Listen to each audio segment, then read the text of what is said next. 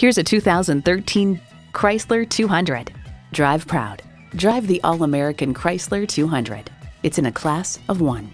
A great vehicle is comprised of great features like these external memory control, wireless phone connectivity, manual tilting steering column, garage door transmitter, manual telescoping steering column, inline four cylinder engine, aluminum wheels, gas pressurized shocks, and AM FM satellite radio. Chrysler, where top flight engineering meets affordable luxury. Hurry in today for a test drive. Heritage Ford is proud to be an automotive leader in our community. We're located at 2075 Edsel Lane Northwest in Corydon, Indiana.